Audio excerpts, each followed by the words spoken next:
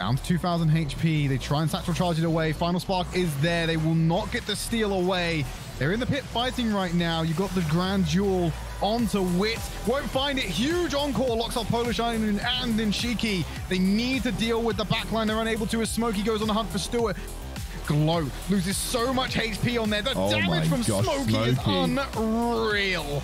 As they'll force them away. The charm is perfect from the encore, and Vex have just secured themselves the first map in this series.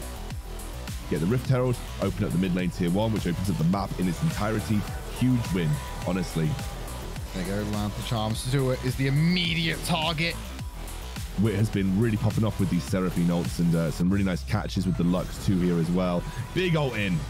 Goes in, only catches the charm on the back end. Gloat will get caught out here. They're all sat on top of the package that's been deployed by the Corky. And Wit is on the hunt for Nishiki. A bit more damage to be found.